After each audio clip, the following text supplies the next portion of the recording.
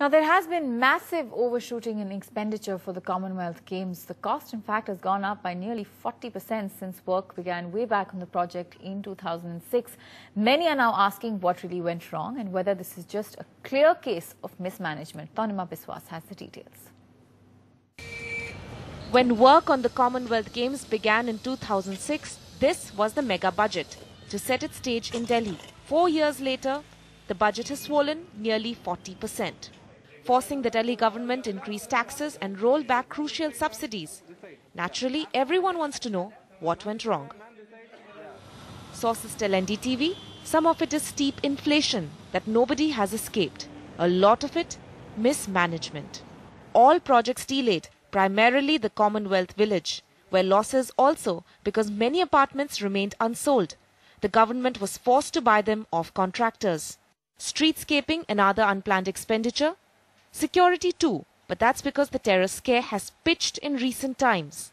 Add to it stadia constructions, all way behind deadline.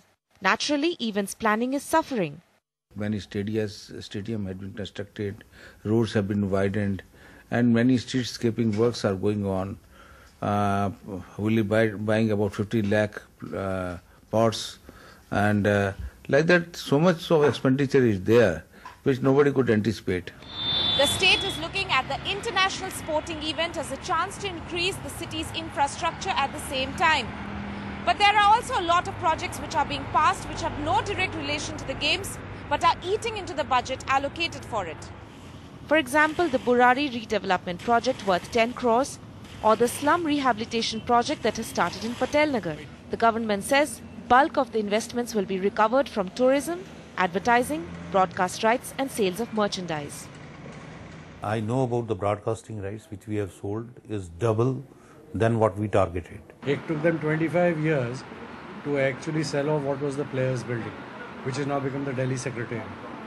It took them 20 years to get rid of the Asiad Village complex. My guess is that for this Commonwealth Games, they're going to take 40 years. In New Delhi, Tanima Biswas for NDTV. Tuba.com